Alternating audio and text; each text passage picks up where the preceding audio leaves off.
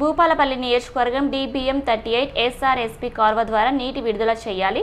గాండ్ర వెంకటరామరెడ్డి. రైతు శ్రేయసే మా ధ్యేయం గాండ్ర ఆదేశాల మేరకు నీరు విడుదల చేసిన అధికారులు.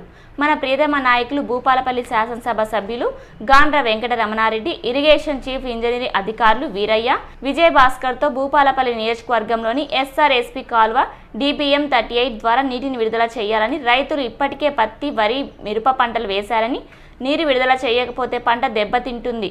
తద్వారా రైతులు నష్టపోతారని ఫోన్ ద్వారా తెలిపి డిబిఎం థర్టీ ఎయిట్ ఎస్ఆర్ఎస్పి కాల్వ ద్వారా రేగొండ మండలం నుండి చివరి ఆయకట్టు టేకుమట్ల వరకు వెంటనే నీటిని విడుదల చేయాలని ఆదేశించారు. వెంటనే స్పందించిన వారు నీటిని విడుదల చేయడం జరిగింది.